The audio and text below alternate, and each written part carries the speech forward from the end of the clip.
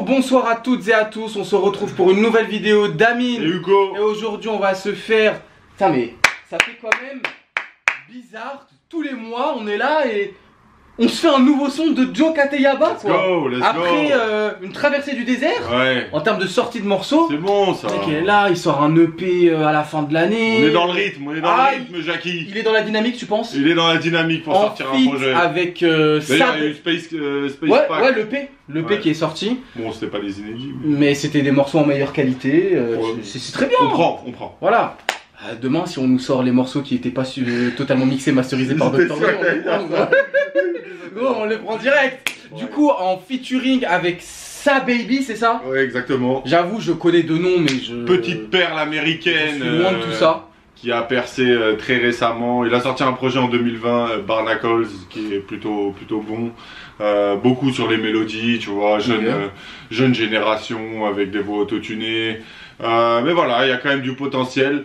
Euh, Gros, les connexions américaines de plus en plus avec. euh, Mais surtout à Teyaba en fait. Surtout à Teyaba euh, qui, bon, je l'avais mis sur sur Insta, c'est le rappeur français le plus américain Oui qu'on Bah ait. oui, juste en termes de connexion. déjà. Voilà, les connexions, bon, Killoffer, Mike Dean. Ah. J'ai vu que One Dagger l'avait euh, commenté. euh, Oui, le post. ouais, bon, voilà. euh, Mec, euh, let's go On a vu en plus en studio avec euh, Lee il y a quelques il y a quelques temps. Ça va être le Astro World français?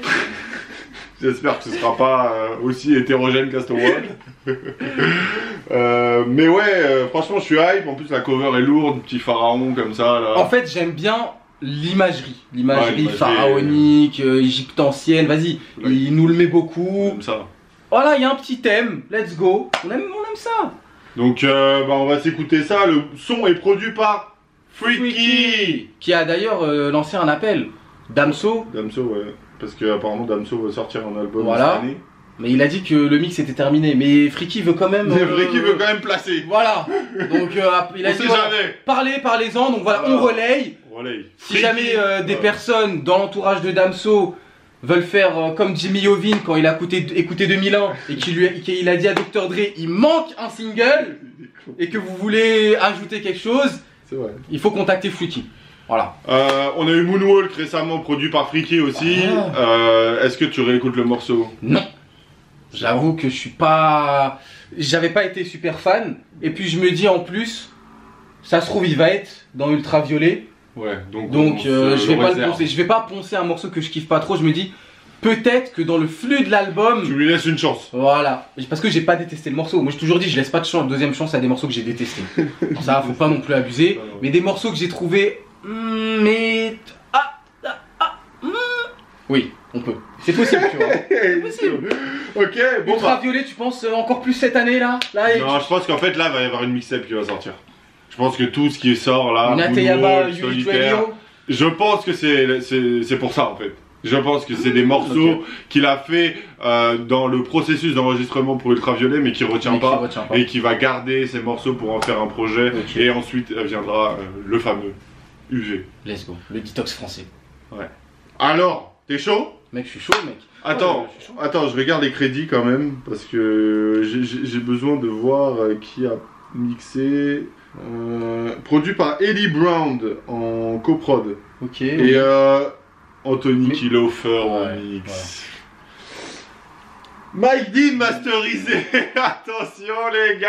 C'est américain. Gros, c'est la c'est l'américain. Ouais, j'ai des américains. Ouais. Let's go. C'est très court. Ateyaba. Sa baby. C'est ça baby ou ça baby? Ça, baby. Ça baby Solitaire au pluriel Let's fucking go Let's go. Ah. Ah bah y'a le tag Voilà, y'a Ouais, le tag. Gros, je suis visionnaire ou je suis pas visionnaire, gros? Je suis DA ou pas DA Mec, Bon. euh, t'as plus rien à prouver. T'as plus rien à prouver.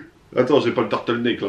Parce que bon, le turtleneck, j'ai le fluide. Ah, c'est vrai que là, t'as pas le turtleneck, Ouais, mec. ouais, j'ai ça cover. dans le placard. C'est la, cover de. Futur. Oh, la- Lola Red? Non. Inspiré. Allez, let's go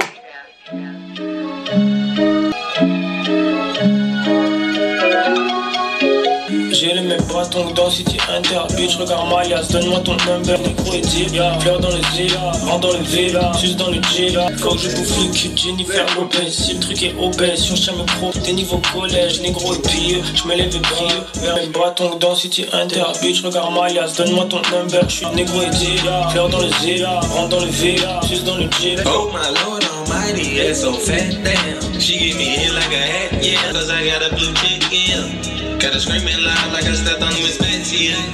These niggas can't duplicate this why bitch, I am that rich. Oh These guns ain't cheap, so you know we gon' test it.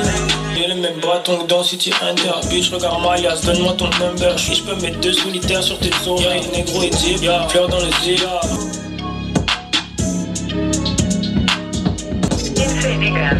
Mec, c'est déjà fini, tu. Ça bounce.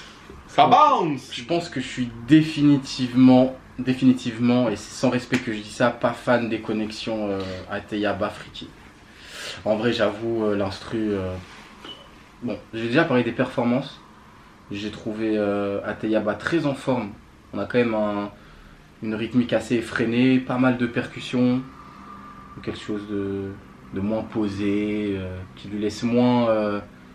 Tu vois, qui lui laisse moins euh, cette possibilité d'être dans ses flots lents, Mhm. etc. Et il prend le pli, le pli totalement. En vrai, vas-y, t'as vu, c'est un, un bon kicker, tu vois.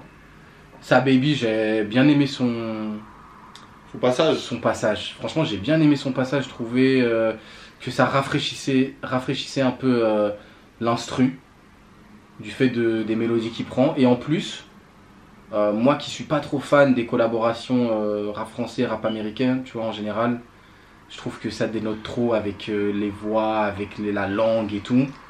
L'attitude de Joke fait que. fait qu'en fait ça, ça coule, tu vois. Quelle est ta, ta collaboration préférée américaine, française? I am Method Man Redman. Ah, c'est incroyable. Parce que en fait, euh, et encore une fois, c'est parce que les mecs sont c'est très américains dans leur démarche aussi, tu vois. Quand ils sortent, euh, tu vois, quand ils commencent, quand ils sortent même l'école du micro d'argent, tu sens c'est vas-y, c'est Ah, c'est très inspiré euh, Wu-Tang. C'est très inspiré Mob Deep. Mm. Donc comme ils sont à fond dedans, tu sens que même dans les flows, même dans les attitudes, ça match avec euh, les caractères et les personnalités de Method Man et Redman, tu vois. Hmm. Et euh, je trouve plus que quand euh, NTM fit avec AZ, là c'est tout, tu vois, sur Affirmative Action. Le remix, ouais. Vraiment, la, la, la connexion euh, a été tellement lourde, mais euh, sinon j'ai jamais été fan en fait. J'ai jamais été fan parce que j'ai jamais trouvé de réellement de symbiose. Euh, Il y a le. en vrai, le Rough the Game, oui, parce que Rough à ce moment-là, je le, il a une attitude carré, tu vois, et en plus il est sur des prods c'est de GR Rotem, tu vois, sur, euh, c'est sur la fierté des nôtres, au-delà de mes limites. Bah, Il la tourne- puissance. La puissance, après en plus euh, il le tourne euh, à, à LA. Donc vas-y, tu vois, il s'imprègne du truc. Mais euh, il s'imprègne du. Mais tu vois qu'Ateyaba, il est aussi sur cette scène-là, tu vois, la scène que Sar Baby représente. Mhm. Euh, c'est très sur les mélodies. Parfois, on écoutait des sons qui sortaient euh, sur sa radio, là, euh, Sound of Ecstasy, Spirit? Spirit of Ecstasy, et euh, tu vois, tu sentais qu'il avait un délire un peu à la Playboy Carty. Pas, pas ce que Playboy fait maintenant, mais surtout à, l'époque, tu vois, genre Ouais. bah, sur sa mixtape par exemple, Mhm. c'est très euh, dans les adlibs et tout, et tu sens que bon, Ateyaba, il, il est euh, nourri de ça en fait, il je est pense nourri que de ce style. Ouais, et surtout, je pense que c'est un mec qui va chercher un feat Quinry, pas parce que c'est le nom, mais parce que. Non, parce qu'il a une, une, avec affinité euh, voilà. musicale. Donc je c'est peut-être pour ça qu'on peut sentir que. artistique et tout. Ça a fonctionné pour toi, là, les deux Ah, Moi j'ai kiffé de ouf, gros. Moi j'ai trop trop kiffé. Euh, je pense qu'en plus au réécoute ça va encore prendre de l'ampleur pour moi en tout cas. Mais ouais j'ai bien aimé la prod, trou- je l'ai trouvé... euh, En fait j'ai trouvé bouncy à mort et j'ai trouvé Ateyaba vraiment... euh, J'ai trouvé qu'il avait pris la prod du bon côté tu Mhm. vois, genre ne, ne, ne pas la laisser respirer, avoir un débit assez... euh, assez euh, rapide dessus et donner vraiment du rythme à la prod.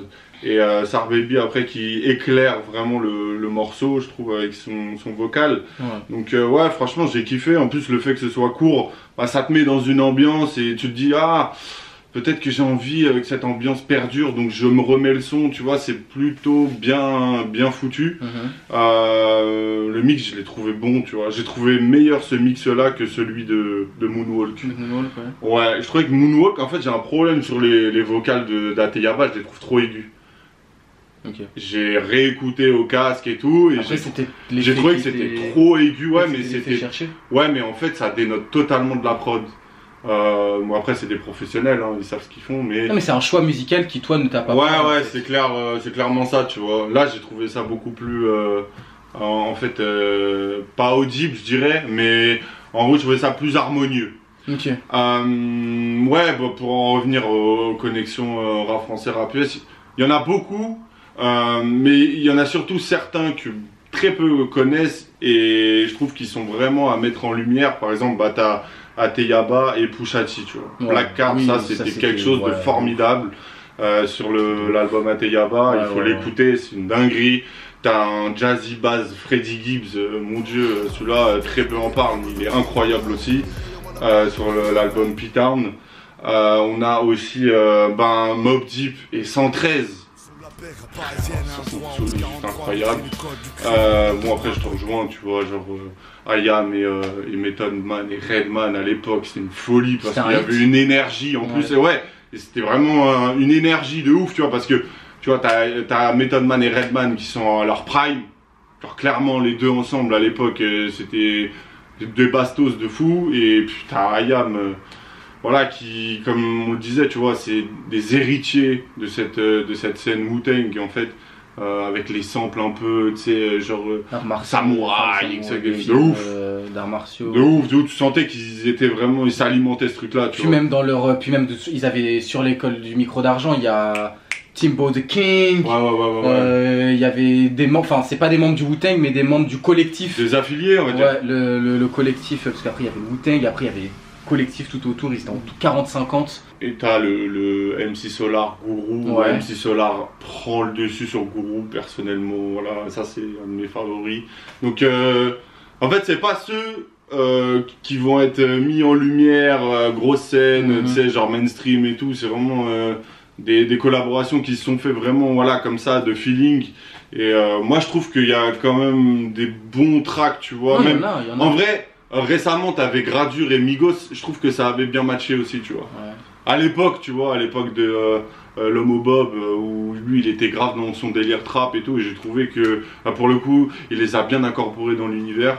Euh, mais ouais, franchement, grosse réussite, hein, moi j'ai kiffé. Euh, pour moi, ça annonce vraiment une mixtape en fait. Ouais, je pense, ouais. Là, je pense qu'on est vraiment sur. euh, en plus, on entend le tag au début. Je à me dis, la c'est soit ça, soit il a renommé Ultraviolet, tu vois. Ou alors il a renommé. Mais je- euh, mais je pense pas. Franchement, je pense pas. Ouais, je pense pas vraiment. Enfin, bah écoutez, dites-nous vous ce que vous avez pensé de Solitaire d'Ateyaba avec Sa Baby, de ce que bah, vous pensez encore une fois, voilà, de l'EP qui est sorti, euh, de Moonwalk aujourd'hui après plusieurs écoutes. N'oubliez pas de nous rejoindre sur nos réseaux sociaux qui sont. Aminugo 1 sur Twitter, Aminugo sur Insta et Aminugo sur. Ah oui, sur Ah oui, ah oui, ah c'est oui. vrai. Bon, t'as t'as bientôt 12 000. hein. Ah ouais. Par exemple, tu suis plus mon nombre d'abonnés. Ouais. Voilà, bah, je te vois Ah sur gros, ma TL. avec, des, avec des sondages aussi exceptionnels qu'Astro World versus deux frères, c'est normal, gros. Ouais, c'est normal. Je, je crée le débat. C'est- C'est normal que tu Oui. prennes de l'ampleur. Voilà pourquoi Nino est autant aimé de la gente féminine. C'est des, des vraies questions, questions. c'est des vraies C'est des questions. vraies gros. questions, hein. C'est des vraies questions, des vrais statements, voilà. Eh oui, gros. Allez, on se retrouve pour une prochaine vidéo. D'ici là, prenez soin de vous. Peace. Peace.